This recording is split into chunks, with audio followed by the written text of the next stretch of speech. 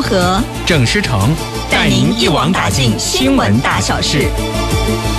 ，Pop 抢先报。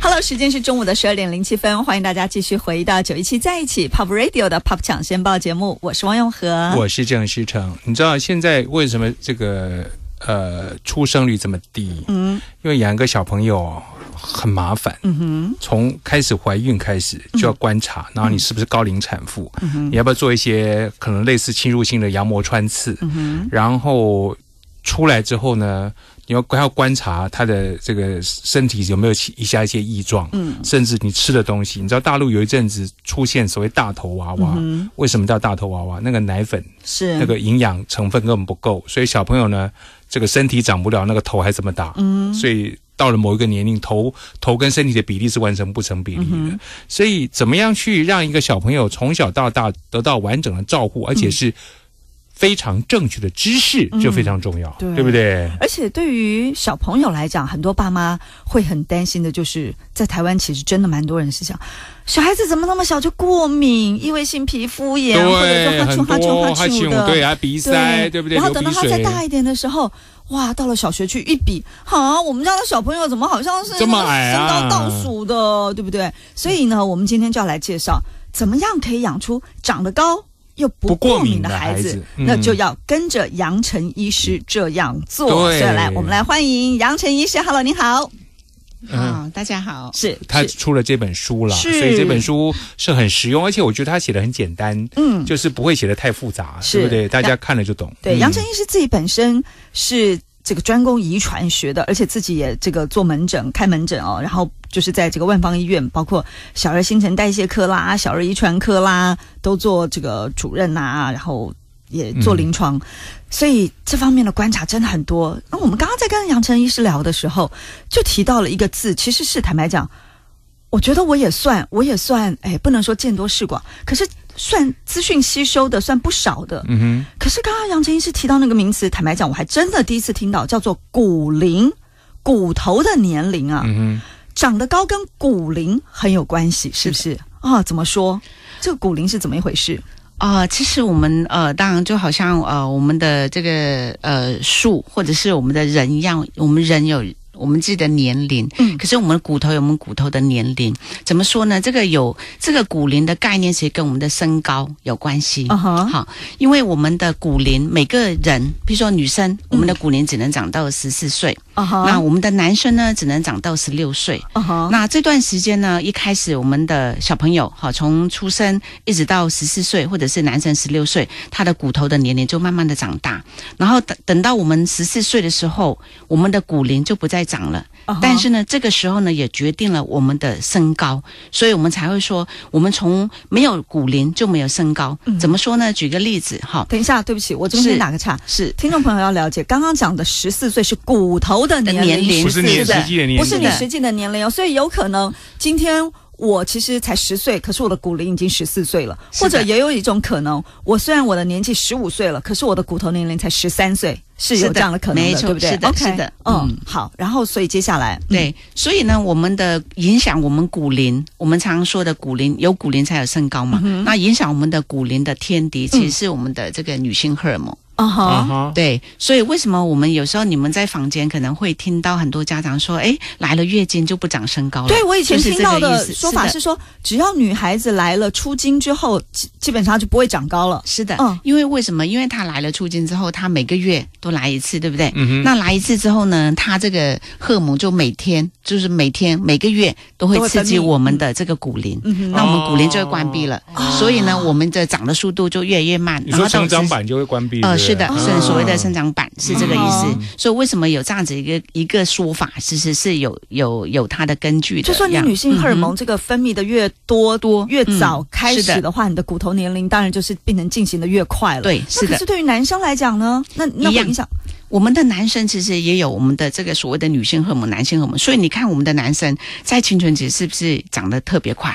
对。对他可能一年可能长个十公分，对。这个都是荷尔蒙的关系。哦。所以他如果提早，呃变身嗯哼是不是所谓的提早进入他的青春期？是那这个时候他的骨龄也是被牺牲的，可是问题，他提早变身，不是他的男性荷尔蒙分泌的更旺盛吗是吗？，所以他一年当两年用，哦，所以你说女生的话就是女性荷尔蒙影响，男生就是男性荷尔蒙蒙影响。影响影响，嗯，是。哦那他一年当两年用，你今年看到他哎长得十二公分，嗯可是他的骨龄长了两年，所以他的年成长率是不是只有六公分？嗯哼，哦，所以骨龄要要除以你的公分数，要除以你实际的骨龄的成长，龄的成长不是是的，不是除以你的实际的年龄成长，是，对，因为我们都有一个误会，譬如说这个男生他觉得十三岁，嗯，呃，他变身了，嗯。那么你刚才不是说骨龄十六岁吗？对。那他很开心啊，因为嗯他觉得他有三年可以长，没有。他如果是性早熟的小朋友，他可能一年半或者是一年，他骨龄就长两年到三年。哦所以他现在只有一百六十公分的话，嗯他就算真的让他长一年的时间，他可能一七零，嗯好、他就结束他的身高了。嗯那一七零对男生来说 OK 了，嗯可是如果说他十三岁变身还没有到，还没有到一六零，那怎么办？哦，所以骨龄怎么样让它长得慢，是这个是很重要的。很重要非那问题是我们怎么知道我们的骨龄呢？而且这样讲，骨龄跟我们所谓什么骨质疏松什么的有有没有关系？有没有没有没有太大的关系。哦，，好，那骨龄要怎么看呢、怎么检查？嗯，骨龄我们一般哈都是在我们的这个小儿内分泌科医师啦、遗传科医师、新陈代谢科医师，我们大部分都会看我们的这个左手。左手，呃左手是左手？对，因为我们呃，为什么是左手？嗯，脑筋急转弯。那事实上，因为我们基本上就可以。呃，应该说我们我们人类哈，嗯一般都是右手是呃主要用手惯用手。那我们呃看这个骨龄呢，我们要要对一个图谱。那那个图谱呢，所有的的影像全部都是左手。OK，所以我们是比较好就叫左对照手。是的 OK，、嗯那看左手就去照看每一 X 光块吗？还是什么是？X 光，然后看每一块的骨头嗯哦，它的年龄哦，啊，一个平均。嗯，每一块骨头的每一块骨头年龄，，我们的手每一块每一个地方每个关节地方其实都有一个骨头。所以换句话说，嗯有可能我的，比如说我的这个小小拇指至少就有这样，是不是三节骨头？呃是不是应该是这这里一节，然后中间这里一节，？OK，对，就好几节嘛所以有可能我一根手指头的不同的骨头骨龄是不同的啊。不一不太一样，对，哦，那会差很多吗？不会吧？不会，嗯，就是一个平均，大概大家都如果说差不多。我们看起来这个骨龄是十岁，那可能每一块骨头可能正负两到三个月这样子。哦。所以要去评量你的这个骨龄到底多少岁，照左手 X 光就可以呃就可以观察出来。可是重点是你知道了你的骨龄之后，还很重要的是，第一个是最好是我怎么样让我的骨龄长得慢，是。第二个是说。我要怎么样把握，在我还可以涨的这段时间，赶快涨，是的对不对？好，嗯所以这些怎么做，我们待会儿来请教专家杨晨医师，马上。Pop 抢先报，十二点十七分，欢迎回到九一七在一起 Pop Radio 台北流行广播电台 Pop 抢先报，我是郑诗成。我是汪永和来，到现场是杨晨医师啊，谈谈这本书啊，跟着杨晨医师做这样做，养出长得高不过敏的孩子。嗯，所以长高刚刚提到骨龄很重要，那我们要怎么样让骨龄可以保持年轻？对啊，对啊。嗯，让它越年轻越好。而且千万不要把它认为说，哎，一开始长得很快，就表示他以后会长得很高，嗯反而更糟，对是的不对？其实我们很多呃小朋友都有这样子的一个困扰，嗯也就是说，呃，一刚开始的时候，小朋友长得很高，然后也不太注意他，因为家长会觉得说，我们现在的人的营养都非常好，嗯他一定会比我们父母亲来的高，所以不太在意。嗯，对，但是呢，发现说，哎，他一个学期可能长个五六公分，嗯一个学期才六个月嘛，嗯他长了五六公分，他觉得很开心对啊可是对我而言，我一点都不开心。为什么？为什么呢？他来到门诊的时候，其实我发现我画他的这个曲线图，嗯发现他比这个所谓的爸爸妈妈遗传给他那个身高、嗯来的好的时候，我就知道他一定是乳房发育了。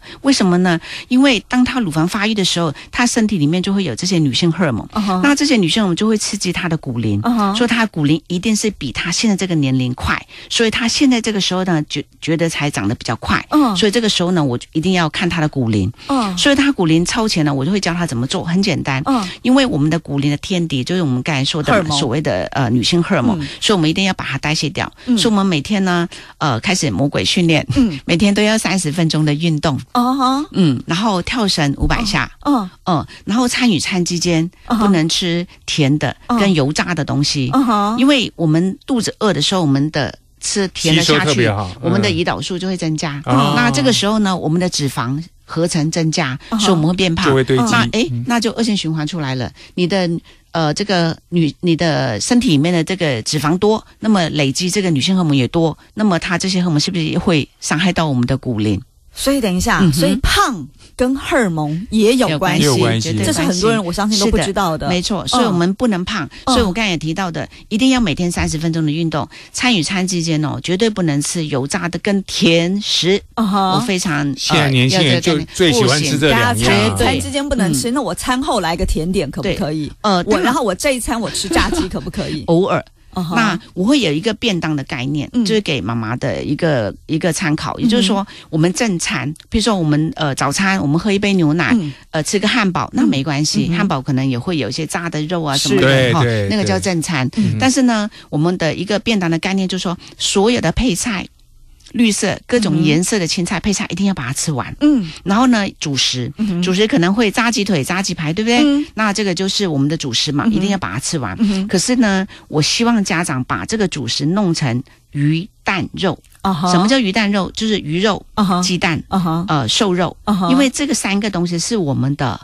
优质蛋白质的来源，哦也就是说，我们必须氨基酸的东西是。所以它这个主食把它吃完，然后剩下那碗饭吃完就吃完了。嗯如果有一些小朋友就说：“哎，我不饱啦，我还想再吃。那么他可能会再半碗饭。嗯可是在这吃半碗饭的同时，嗯一定有半碗的青菜。嗯哼因为一些纤维会阻隔我们的一些淀粉的这些吸收，所以是它一定要这样子食用。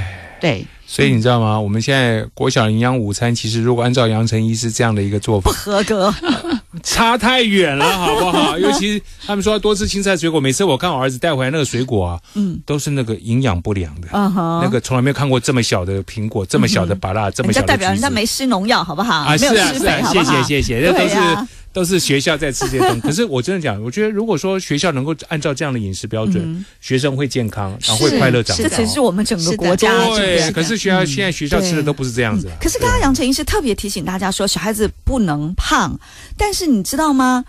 我听过一些家长讲说。哎，我现在就是要把小孩子养胖有肉，这样他才有本钱抽啊抽高。对啊嗯，呃，其实这个可以分两个层面来看哈。嗯我们先从呃一开始我们吃下去的东西的养分来看，我们吃下去所有的东西只有三样东西有大卡数，对不对？嗯淀粉，嗯哼，然后脂肪，嗯然后还有那个蛋白质，对不对？嗯这三大东西就会让我们长高，对不对？嗯哼我们叫能量不灭定律嘛，我们吃下去的东西一定合成我们要的东西嘛，对不对？好，当我们吃了两千或者两千五百大卡的东西进去的时候，你会觉得说你的身体里面什么东西先拿到？一定是重要的器官先拿到嘛。是。对，所以，我们越小的小朋友，好，我们正在成长，是。因为我们叫呃合成大于分解嘛，因为是它只要长大，对，所以它重要东西是不是拿走了？嗯。好，然后可能拿了一千五的大卡的东西，嗯营养的东西，再来呢，什么重要？身高嘛，嗯因为我们的身高会在长嘛，是。对。所以我们的骨头在长嘛，我们的肌肉在长嘛，是。所以他也拿走了一部分，嗯。最后拿到的是谁？一定是体重嘛，啊哈，所以一定是体重最不容易被发现到的。对，所以如果就像我们大人，你觉得你现在还可以长重要的器官吗？不太可能不行了，嗯你还可以长高吗？嗯哼，呃他希望啦，那个躺着的时候，那个脂肪会堆高也。不行，也不行 了嘛，嗯对不对？所以换言之，我们现在吃下去这两千大卡，其实你会看到什么体重嘛？嗯，对，所以你只要有这样子的概念，你就知道因说，其实为因为前前面两部分已经没有不那么需要了，我我就我们没法再讲了啊。对，但我们的小孩子会啊，小孩子会是没有错，所以呢，我们刚才说分开两个层面，嗯所以他吃下去的东西，他是不是够的这个营养？它是重要东西拿走，他是不是长得很好了？。对。如果他长胖了，是不是他多余的东西？对对，哦，就代表你真的给了他太多了，他才会长胖。一方面，好，对对这个是第二个第嗯第一方面的情况。嗯第二方面呢，他吃的不对。啊，是他有这个体重，可是他可能都是脂肪啊他不是肌肉啊，嗯，很多就像我们练健身一样嘛。对，嗯很多女是生发现说瘦瘦，可是她脂肪还过高，是的嗯，他吃的如果是优质蛋白质的东西，就我们刚才说的营养，嗯这个是均衡的。他真的体重重不叫胖，嗯他体重重一点，他长得很好，那是没有关系嘛嗯，是这个概念。嗯所以我们很多妈妈都会认为说，哎，这个小朋友养胖一点，他可以长，其实不一定。嗯为什么？因为我们长。胖的时候，如果说他是吃不对东西的胖，他的脂肪很多，嗯。他的女性荷尔蒙很多，他是性早熟的，啊那么他的骨龄是一定是超前的，哦。他往后就不会长高，他是偷跑，等于说哦他前面跑得比较快。啊哈，荷尔蒙是会储存在肥胖细胞里头的，是的。所以这个是很重要的。是的所以小朋友其实如果太胖，真的需要适度的予以调整饮食减是的。肥不要不要说哎哎呀小时候胖啊，这个哎没关系啦，嗯。长大抽高就就身体的身材就我的概念很简单，嗯。小时候高不是高，就是指我们性早熟，他跑在前面的；小时候矮不是矮，是指我们的营养不太均衡，不知道该怎么样去嗯照顾这些小朋友，所以他小时候矮一点，那我们就找出他的原因。嗯。可是小时候胖就是胖，OK，哎，可是如果这样讲的话，肥胖不 OK。那可是有些人已经是长高了，有些人又高又胖的话，对不对？我们也看过有有这种人，是的对不对？那就是他的遗传就是这样，是不是？遗传这嗯身高是不是遗传占了很大的因素？嗯对，七八成。啊哈，嗯，所以所以如果他又高又胖的话，表示他的爸爸真的很高，爸爸妈妈真的很高。嗯，对呀、是所以所以这个东西，反正我觉得照杨氏的这个原则，我觉得我是对的。你现在你现在如果营养过剩，就是长长长胖。对那。小朋友也不能让他过胖，不然的话，到时候会储存在身体里面。对可是刚刚杨医师有特别提到说要运动啊，跳绳，你特别提出跳绳，跳绳所以代表我们一般人的观念说你要多跳，可以刺激长高，是不真的是真的？真的嗯哼嗯哼，OK，好，那等一下回来我们要继续聊的是说，好，那骨龄那么重要，刚刚讲的是说怎么样让我们的骨龄可以可以等于说长慢一点，长慢一哎点，不要那但是问题是说，嗯你又提到说太早长高不对，到底什么时候长高才是对的呢？我们待会回来聊。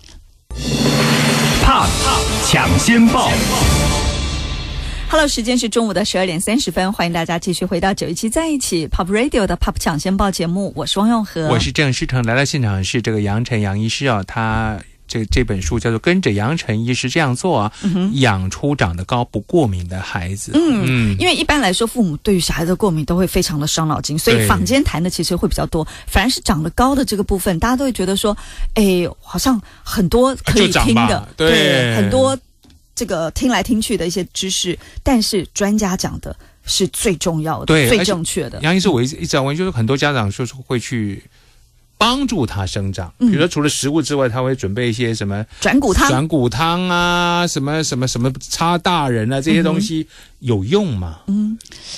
呃，其实我们还是回到我们的这个正常面嘛，哈、嗯所谓的正常面就是说原理，哈、嗯我们要长高，也就是说我们刚才说，在骨龄十四岁以前，嗯然后男生骨龄十六岁以前，嗯其实我们只要要早睡，嗯为什么呢？因为我们晚上九点到凌晨三点这段时间是我们生长激素分泌最旺盛的时候。哦所以呢，我们早睡之后，他晚他就会乖乖的就分泌这个生长激素给我我如果们了。没睡觉，它嗯生长激素会不分泌吗？哦，它分泌的比较少，其实每天一天都有啦嗯哼只是那段时间它的频率是最最多的，啊哈，它然后它的最可以做好好做工的对，时候。也是最就好最像我们说，多的时候。很多内脏在某个时辰开始修补，你那时候不睡觉，是的。它身就会受到伤害，是的？就是他这个时候，他可以最源源源最源源不绝的供应，是的对。不对？是的？那可是如果我不睡的话，它供应量就会比较少，比较少是不是？那可是你所谓，比如说你说要九点，因为九点到三点嘛，九点。是我躺上床去，可是我翻来覆去睡不着，然后我到十点才会有睡觉影响，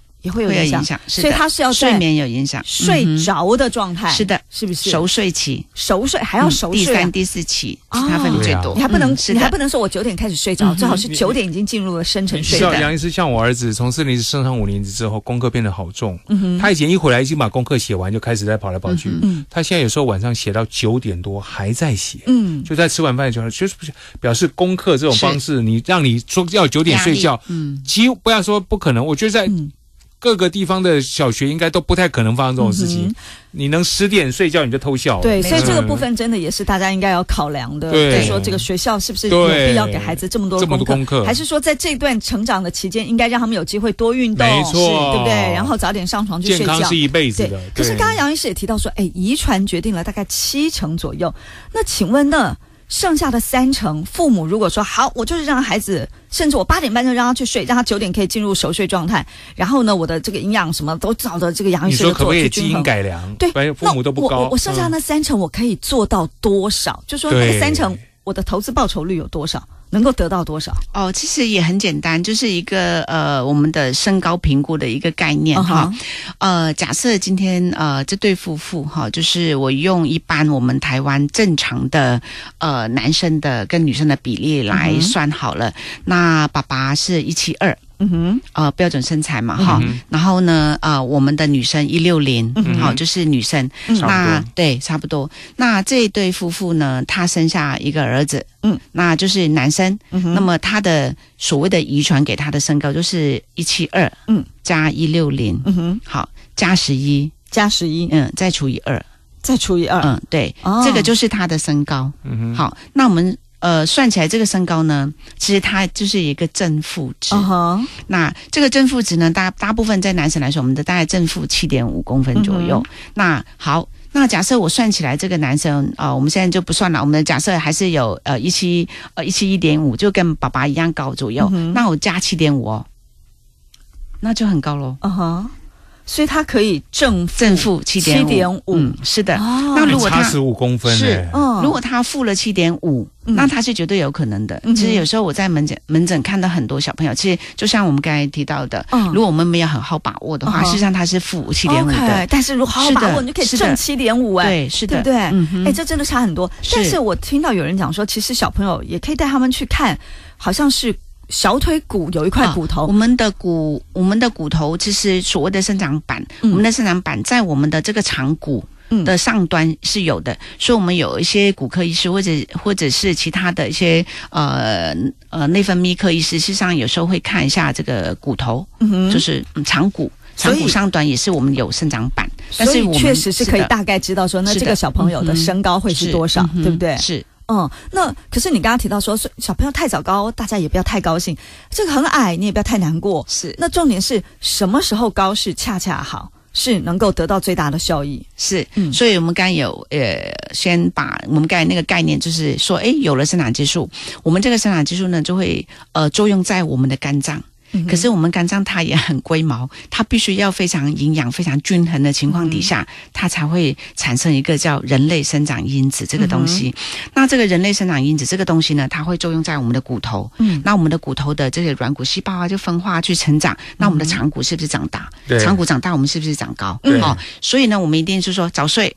然后营养均衡，对不对？嗯然后到了这个刺激我们的这个骨骨头，我们的骨头长大，我们就可以成长。可是骨头长大，它需不需要原料？嗯嗯需要嘛？哈、嗯那骨头在长大的时候，我们需要一些优质蛋白质，特别是钙质的部分。嗯可是我们台湾的小朋友普遍都还是有缺钙这样问题因为饮食一些不均衡的状况。嗯所以有了这个钙质之后呢，我们还不够啊，我们还要晒太阳。为什么？一定要有活性的维他命 D，, 我们这些钙才可以吸收。嗯可是我们现在台湾的小朋友也不太户外活动，没没机会没机会晒太阳是的，嗯所以你看哦，到了这个层级之后，我们已经又补。呃，所谓的牛奶啦、钙质啦，给他，打晒晒太阳啦，他有这些东西充足，他的骨头是不是才长大？对，那这个骨头长大，我们才是不是可以长高？嗯所以我们一定有这样子的一个流程嗯这样的一个原料。所以当我们运，我当我们去运动嗯三十分钟、跳绳运动，它的骨头是不是有有运动去合成它？这样子我们才会长得好。是所以你只要知道这样的一个原理，就像我们刚才提到说，不管你是中药，不管你是什么样的成分，你只要是最基哎础的最基础的东西。晒太阳要晒多久？十五、分钟就够了每天十五分钟。我们亚洲区其实大部分不太缺太阳啦，嗯基本上还是可以。可是我们是真的太户外太太少嗯活动，所以那个国中小学。呃，不要再借体育课去上别的了，对 不不要对？不止不要借体育课，嗯其实我个人是觉得其他的课都不要借了，不不不，嗯应该每一天真的都都要固定出来让他们15分钟对户外活动对，因为这真的是小朋友成长最关键的时刻。对，嗯好，那我们又回到刚刚，我们知道这样的原理，我们就把握，对不对？嗯那我们怎么样知道这个小朋友他长得好不好？就像我们刚才提到的，对，我们假设刚才那对夫妇这样子，他的给他的这个小孩子的身高，男生这个身高，那我们就有一个曲线图，嗯那个曲线图可能是在五十个百分位，嗯五十个百分位的意思就是说，一百个人去排队，嗯他以后长到一七二，刚好是五十名的，对不对？好，那他今天的儿子呢，他来的时候他可能是呃八岁，嗯然后我们画的那个曲线图，他只有百分之十，就倒数第十名的意思。嗯因为他来找我，一定说，哎，那个杨伟有问题吗我的小朋友都坐前面那一排，对那可是啊他是倒数第十名，对不对？那这个时候呢，就表示说他有问题了。嗯怎么说？虽然说我们的正常分布法里面，他是不是倒数第十名？是可是我们正常分布法，他说还是正常的啊。对是因为我们三到九十七嘛，都是正常的。是可是爸爸妈妈给他的身高，他本来就是在五十这个轨道上面跑，他竟然没有达到他应有的标准现在是不对了。对。所以这个时候，你是不是要赶快找出他的原因因，是让他去把握它？所以这个就是我们说的小时候矮，其是实不是矮，没有关系。那如果说他嗯本来把本来爸爸妈妈应该是百分之五十，但他跑到八十了，那妈妈能不能说，因为我让他早睡，我给他营养均衡啊，所以他才跑到这个前面？那我就是要确认他是男生还是女生。嗯假设他是女生的话，你刚刚提到这个状况的话，我就要看他是乳房是不是有发育了。哦因为他乳房发育，他的骨龄可能已经十岁了，哦他现在八岁，骨龄十岁，他还是比别人少了两年可以长，哦他当然在前面，对前面个十五十五 percent。嗯如果是男生的话，我一定要检查他的睾丸。那但是是假设检查了之后发现说，哎，都没有那些性早熟的症状的话，那就代表说，哦，这个爸爸妈妈真的养得好，对不对？让他能够往前往前，在这个名列前茅，对不对？呃，可以这么说。嗯那他我们女生就正负六公分嘛，嗯他可能就拿到他这个六公分去成长，嗯这是第一个可能。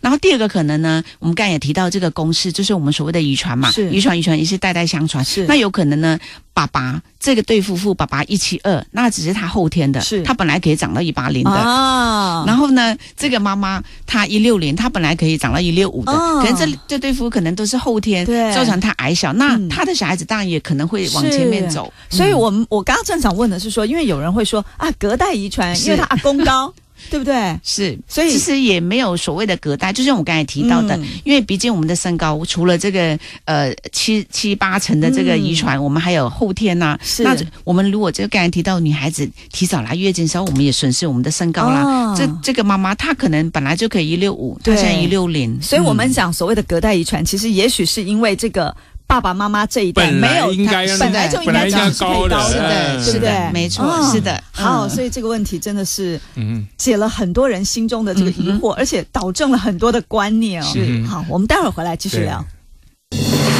Pop 抢先报，十二点四十三分，欢迎回到九一七在一起 Pop Radio 台北流行广播电台 Pop 抢先报，我是郑诗成。我是汪永和来，到现场是这个杨晨杨医师要谈这本书，跟着杨晨医师这样做呢，这个养出长得高不过敏的孩子。嗯，长得高是很多父母对孩子的一个期望。那有些人说、啊，那医生呢长那么矮的话，哎哎，既然你说生长激素那么重要，哎啊，有朋友跟我讲说，好像可以注射，哎，安内干后这样好吗？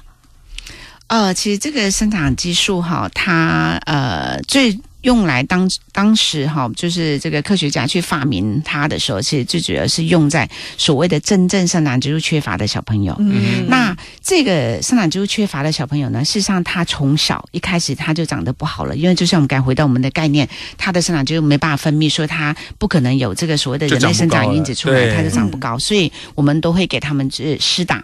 那这个施打这个生长激素呢，事实上就模拟我们每天呃睡前分泌的这样这样子概念，哦所以他是每天需要去打。可是如果说一般的小朋友，假设你不缺乏的话，嗯事实上我们诊断出来你不缺乏，事实上也不需要去呃嗯施打它。嗯那坊间或者是民间，或者是有些家长会觉得说，诶，那如果说既然有这个药物，或者是我们呃希望小朋友呃能够多高一些些，嗯是不是可以打？那通常这样子的话，我们都还是经过非常谨慎的评估。嗯就像我们刚才也提到说，可能有一些性早熟的小朋友，他可能呃骨龄已经呃关闭了，或者是就这个是绝对不能打的。所以我们因为你打了也没用，是的，对对？因为我们的女生在骨龄十四岁，然后男生十六岁，事实上我们是不能打，所以这个呃药品的这个部分或者施打这个部分，事实上我们不建议说家长说，诶，觉得呃，也许我可能呃这个花钱花得起，或者是、呃有这样子的一个呃一个机会，那我去施打，还是得要经过非常谨慎的评估啦。他除非是经过，除除非他是那种真的有问题的状况下才需要去打那种是的。但是打那会不会有副作用啊？呃，一般来说的话，因为我们的以前这个生长激素，它是用我们的这个脑下垂体。就说死去的人的哦脑下垂体去萃取的。哦因为我们生长激素刚才提到，它是在脑下垂体这边分泌出来，哦所以以前医院科学家也是知道说，哎，这个东西在哪里，所以用它萃取出来。嗯那萃取出来之后呢，就给呃这个全世界一些生长激素缺乏、严重缺乏的小朋友去打，嗯然后打的时候发现，哎，有一些这个传染病出来了。对因为你有一些什么因为。呃传染病，传染病。哦对，因为你的这个是所谓的这活体里面去嗯。这个生长这个脑下水就是萃取的嘛。那后来科学家就觉得说这样不对，嗯。那可能去研发，所以嗯。DNA 合成了。所以从一九八五年之后，其实 DNA 合成了嗯所以它的安全度就没有这方面的这个问题了。嗯是，嗯。但是毕竟是注射别的东西进去，是的所以能够不要，真的是还是尽量避免除。非是真的有必要，发现说用正常的方式没办法呃是的成长，对才有是的这是最后一招了。是的，哦是的。嗯，嗯可是您刚刚提到说钙质的补充也很重要，那很多家长会说哦，所以我给小吃钙孩喝片啊，大骨汤，大骨汤，或是喝牛奶是钙片。嗯，是不是还是是什么样的方法？对尤其钙片房间百百种，是的，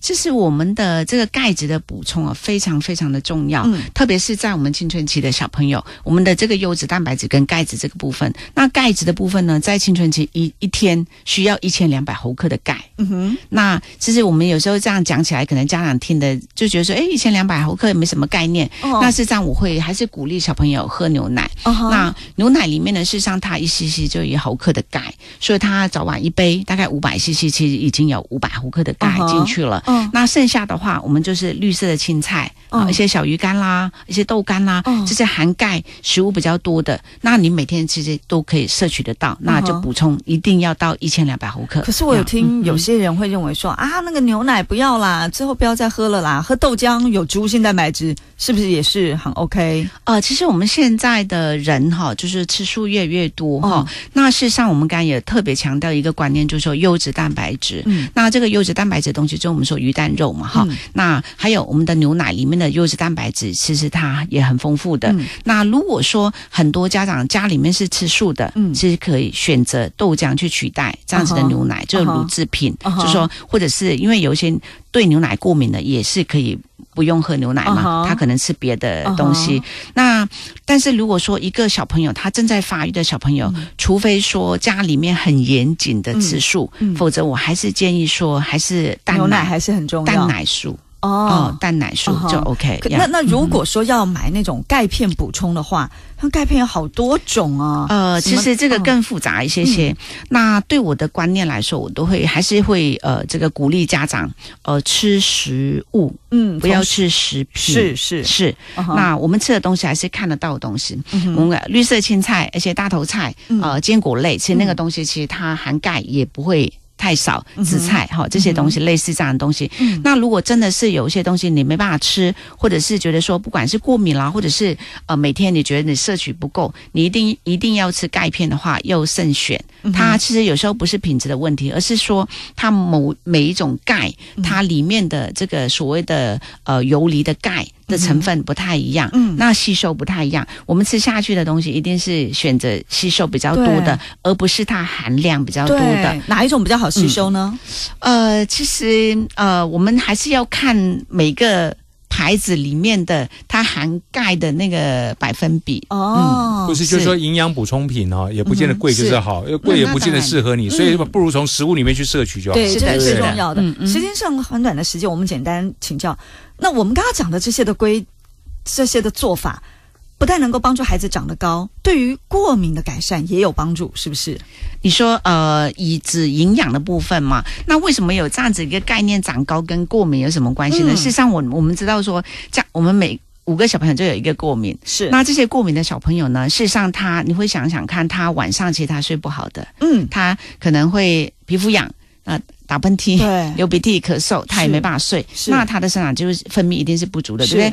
那么他需要的是我们刚才说成长必须要优质蛋白质，嗯可是呢，他不能喝牛奶，嗯他也不能吃鸡蛋，嗯。因为很多是对这个高蛋白的东西他会过敏，过敏。那是不是营养也不良，对也不均衡？所以呢，然后呢，再来呢，我们刚才不是提到一个重要的第三个概念，运动，嗯。每天都要运动三十分钟跳绳，嗯。他可能跳两下就喘起来了，嗯。对不对？有些过敏的、气喘的小朋友，事实上，你看我们这几个重点，其实他很难去都没有办法去做到，而不是因为这个小朋友过敏会让他长不好，而是我们要知道说，过敏的小朋友这三这些条款，他都平常日常生活里他没办法做到的时候，哦我们要我要怎么样去帮助他说，哦。你对这些东西过敏，那没关系，我们吃别的东西。哦，对不对？那你的运动是哪些过敏？那我们就选择嗯你比较不会过敏适合的运动，对。是的嗯。对。呀。可是像刚刚，所以我们刚刚讲说，如果你对牛奶过敏，因为真的很多小朋友没其实对奶是过敏很多很多好，那你就改喝豆浆。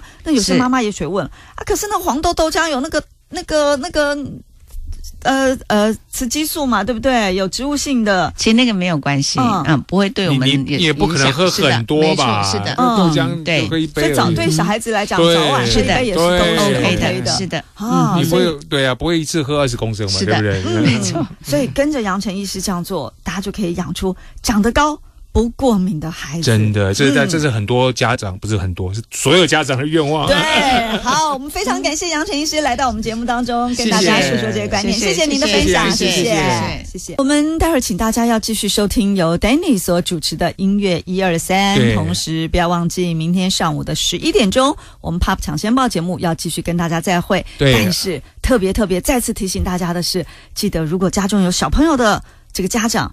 让小朋友早点睡觉。刚刚杨晨医师说，我们荷尔蒙分泌最旺盛的时间是晚上的九点到三点钟那，这个需要大家嗯然后好好把握这个黄金时第一场世界。大赛是印第安这个克克利夫兰印第安人队获胜。嗯，啊好，我们明天 Pop 掌声报十一点钟继续再见了，拜拜，拜。拜。